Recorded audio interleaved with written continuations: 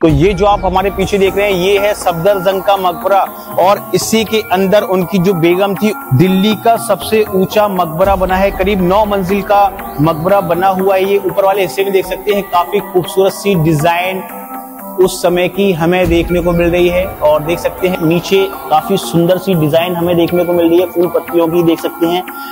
तो सफदर जंग का जन्म 1708 ईस्वी में फारस के एक जाने माने परिवार में हुआ था और सफदर जंग का जो असली नाम था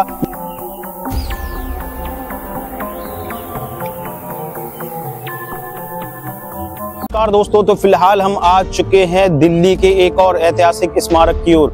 तो फ़िलहाल अभी मैं जिस जगह खड़ा हूँ, ये है सफदर जंग का मकबरा, जिसे सत्रह ईस्वी में उनके बेटे सुजाउद्दौला के द्वारा बनाया गया था। सफदर जंग मुगल शासक के प्रधानमंत्री हुआ करते थे। तो आज हम जानेंगे इस खूबसूरत से मकबरे का इतिहास और देखेंगे इस खूबसूरत से मकबरे को। तो उससे पहले हम इस मकबरे का बाहर का नज़ारा आपको कराते हैं। तो ये है इसका एंट्री गेट तो यहीं से अभी हम एंट्री करेंगे इस मकबरे के लिए।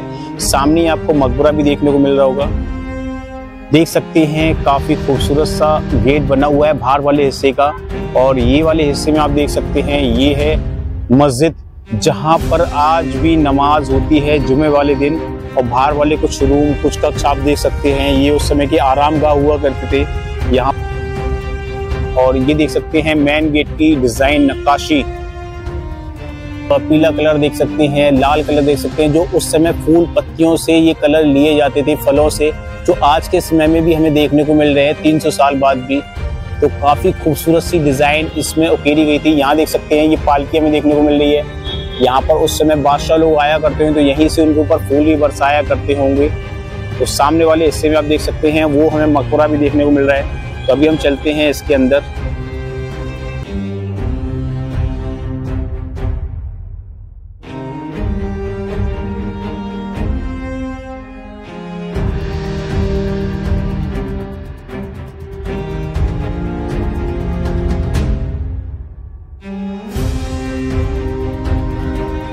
तो ये है सामने मकबरा।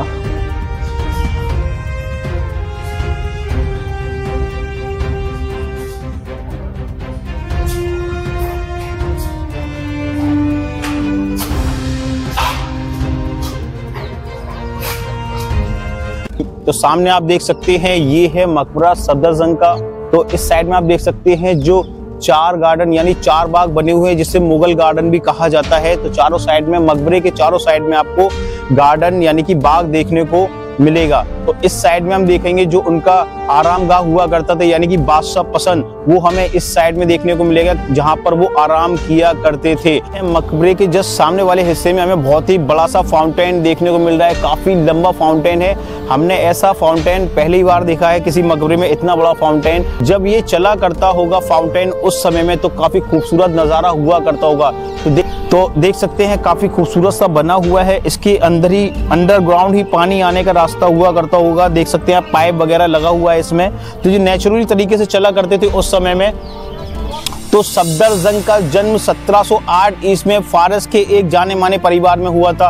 और सफदर जंग का जो असली नाम था, मिर्ज़ा मुकीम अबू फजल मंसूर खान, उनका असली नाम हुआ करता था। तो तो सफदरजंग 1722 ईस्वी में भारत आए थे, उसके बाद में उस समय के जो अंतिम मुगल शासक मोहम्मद शाह हुआ करते थे, उन्होंने 1748 ईस्वी में उनको यहाँ पर प्रधानमंत्री यानी कि वज़ीर के रूप में घोषित कर दिया था। तो सत्रह सौ चौवन ईस्वी में सफदरजंग की मृत्यु हो गई थी और उसके बाद में उनके बेटे सुजाउद्दौला ने मोहम्मद शाह से परमिशन लेके इस पूरे मकबरे का निर्माण कराना शुरू कर दिया था। तो अभी हम चलते हैं मकबरे की ओर और, और देखेंगे इस मकबरे की खूबसूरती को।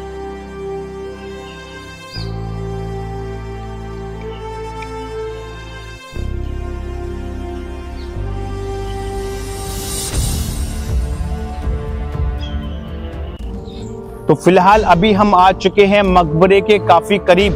तो ये जो आप हमारे पीछे देख रहे हैं, ये है सफदर जंग का मकबरा और इसी के अंदर उनकी जो बेगम थी, उनकी भी कब्र बनी हुई यानी कि दोनों की कब्र इसी के अंदर बनाई गई थी और देख सकते हैं काफ़ी सुंदर सी डिज़ाइन इसमें हमें देखने को मिल रही है। इस पूरे के पूरे मकबरे में सफ़ेद संगे मरमर प्लस लाल बलुआ पत्थर का प्रयोग हुआ है इस पूरे मकबरे में।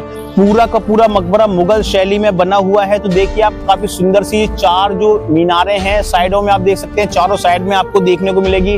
ऊपर वाले हिस्से में आप देख सकते हैं, सफ़ेद संगे मरमर की गुम्मद हमें देखने को मिलेगी काफ़ी बड़ी जो डिज़ाइन है, वो भी हमें काफ़ी सुंदर सी डिज़ाइन इसमें देखने को मिल रही है। तो अभी हम चलते हैं और देखते हैं इसे बारीकी से।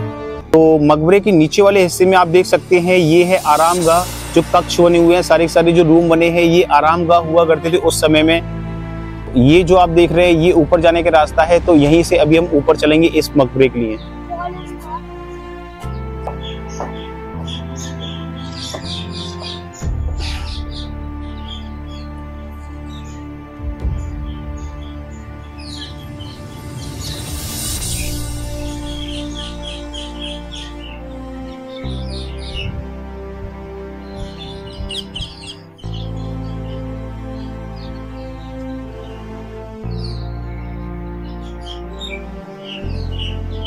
1748 ईस्वी से लेकर सत्रह ईस्वी के ये प्रधानमंत्री रहे मुगल समय के। और सत्रह में युद्ध हार जाने के बाद में उनको दिल्ली से यहाँ से यानी कि निकाल दिया गया था और सत्रह ईस्वी में उनके मर जाने के बाद में उनके बेटे ने सुजाउद्दौला ने इस पूरे मकबरे का निर्माण कराया था। तो अभी हम चलते हैं इस मकबरे के अंदर वाले हिस्से में। आइए। फ़िलहाल अभी हम आ चुके हैं मकबरे के अंदर वाले हिस्से में तो देख सकते हैं सामने ही हमें मकबरा देखने को मिल रहा है सफदर जंग का। और ये देख सकते हैं, ये काफ़ी सुंदर सी डिज़ाइन इस मकबरे के एंट्री गेट पर हमें देखने को मिल रही है। तो उस समय की जो मुगल शैली हुआ करती थी, उसी शैली में पूरा का पूरा मकबरा बना हुआ है। ये देख सकते हैं, कुछ डायमंड कट की शैली, काफ़ी सुंदर सी डिज़ाइन मुगल काल में चला करती थी। देख सकते हैं, काफ़ी सुंदर सी मेहराब। तो ये जो आप देख रहे हैं, ये है सफदर जंग का मकबरा। सफ़ेद संगे मरमर का पूरा का पूरा मकबरा बना हुआ है और काफ़ी सुंदर सी डिज़ाइन भी इसमें हमें देखने को मिल रही है। दिल्ली का सबसे ऊँचा मकबरा बना है, करीब नौ मंजिल का मकबरा बना हुआ है। ये ऊपर वाले हिस्से में देख सकते हैं, काफ़ी खूबसूरत सी डिज़ाइन उस समय की हमें देखने को मिल रही है और देख सकते हैं कुछ जो छज्जे हैं, बालकनी है, वो हमें देखने को मिल रहे हैं। तो काफ़ी सुंदर बना हुआ है। डिज़ाइन देख सकते हैं इसमें। उसी समय की डिज़ाइन भी हमें देखने को मिल रही है।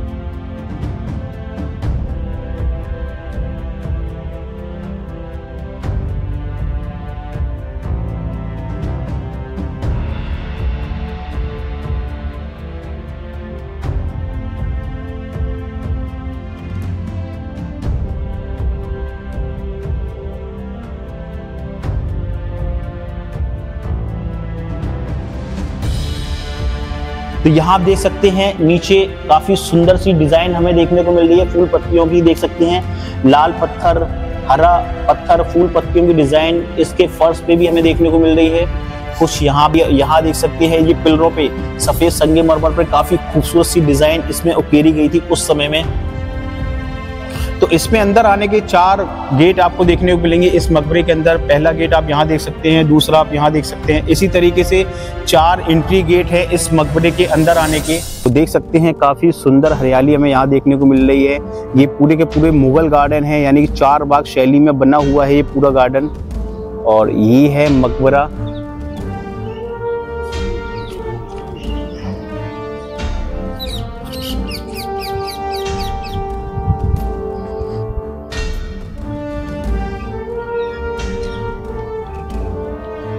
तो यहाँ आप देख सकते हैं, यहाँ पर हमें कुछ हौद यानी कि फाउंटेन जो हुआ करता होगा, उस समय में यहाँ पर चला करता होगा, वो हमें देखने को मिल रहा है। तो फ़िलहाल अभी ये खाली है, एक इस साइड में है, दूसरा आपका उस साइड में है। तो ये वाला जो हिस्सा देख रहे हैं, ये है मोती महल सामने वाले हिस्से में। तो ये ऐसा ही एक और बना हुआ है, जंगली महल, और एक और बना हुआ है जो है बादशाह पसंद, जहाँ पर बादशाह रुका करते थे। तो अभी हम चलते हैं उसी की ओर। तो फ़िलहाल अभी हम आ चुके हैं बादशाह पसंद की ओर। तो ये जो आप हमारे पीछे देख रहे हैं, ये है उस समय का बादशाह पसंद। यानी कि बादशाह यहीं पर रुका करते होंगे, अपना समय भी बिताया करते होंगे। तो देख सकते हैं, यहाँ पर सामने हमें काफ़ी बड़ा सा मंच देखने को मिल रहा है। यहाँ पर उस समय में कोई प्रोग्राम हुआ करते होंगे इस मंच के ऊपर। और सामने वाले हिस्से में देख सकते हैं काफ़ी खूबसूरत सी जो डिज़ाइन है, वो हमें देखने को मिल रही है। छोटे छोटे जो अंदर कक्ष हैं, जो रूम है, वो हमें देखने को मिल रहे हैं। आइए जरा करीब से देखते हैं इसको। आइए। तो यहाँ आप देख सकते हैं, यहाँ पर हमें एक काफ़ी खूबसूरत सी जो मेहराबें हैं, वो देखने को मिल रही हैं। और उसमें काफ़ी सुंदर सी डिज़ाइन भी, शायद उस समय बादशाह यहीं पर बैठा करते होंगे। और नज़ारा किया करते होंगे, यहाँ की जो प्रोग्राम हुआ करते होंगे, पीछे वाले हिस्से में हमें काफ़ी सुंदर सा जो सफदरगंज सा मकबरा है, वो देखने को मिल रहा है।